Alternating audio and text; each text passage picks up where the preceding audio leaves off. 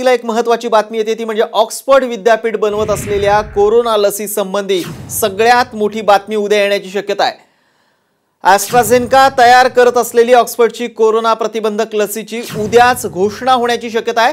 लसीच्या तिसऱ्या टप्प्यातील चाचणी पूर्ण झाली आहे. ब्राझीलमध्ये गेल्या महिन्यात या लसीसंबंधी तिसऱ्या टप्प्यातील चाचणी झाली. त्यानंतर उद्या कदाचित या लसीसंबंधी मोठी घोषणा होण्याची शक्यता आहे. ही लस शरीरात अँटीबॉडीज तयार करते. त्यासोबत विषाणू मारक पेशींची निर्मितीही करते असं सांगण्यात आलंय. आताच्या घडीची मोठी बातमी ती म्हणजे उ- ऑक्सफर्डतर्फे उद्या एक मोठी घोषणा केली जाण्याची शक्यता आहे आणि उद्याच लस येईल अशी देखील शक्यता व्यक्त केली जाते तिसऱ्या टप्प्यातील चाचणी यशस्वी झाली असून उद्या या संदर्भात एक मोठी घोषणा होऊ शकते.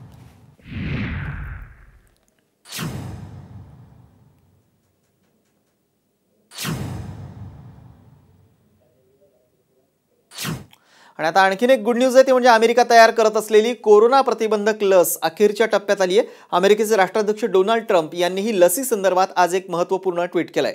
ग्रेट न्यूज ऑन वॅक्सिन असं त्यांनी या ट्विटमध्ये म्हटलंय. या लसीच्या महत्त्वाच्या टप्प्याच्या निकालानंतर वैज्ञानिकही आनंदात आहेत. पाहूयात एक विशेष वृत्तांत. गुड न्यूज अमेरिकेची लस अखेरच्या टप्प्यात. निकालानंतर वैज्ञानिकही आनंदात. सत्तावीस जुलैला होणार लसीचं अखेरचं परीक्षण. जगभरात कोरोना व्हायरसच्या लसीचं परीक्षण सुरू आहे. आता या लसींचे निकालही समोर येत आहेत.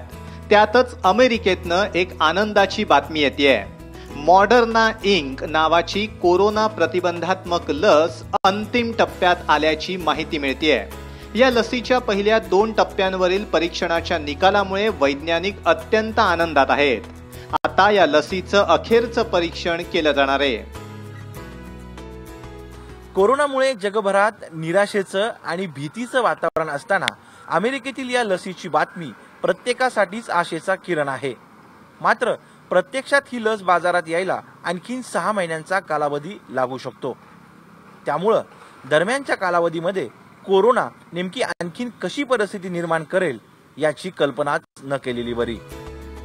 सर्वात महत्वाची गोष्ट म्हणजे या लसीकडनं वैज्ञानिकांना जी अपेक्षा होती अगदी त्याच प्रकारे या लसीनं लोकांच्या इम्युन सिस्टीमवर काम केलंय. या लसीचे सर्वात आवश्यक आणि अखेरच्या टप्प्यावरील परीक्षण सत्तावीस जुलैच्या जवळपास होईल. त्यामुळे आशा करूयात की ऑगस्ट पर्यंत कोरोनाला हरवणारी लस जगाला मिळेल. अमोल कवेटकर साम टीव्ही पुणे.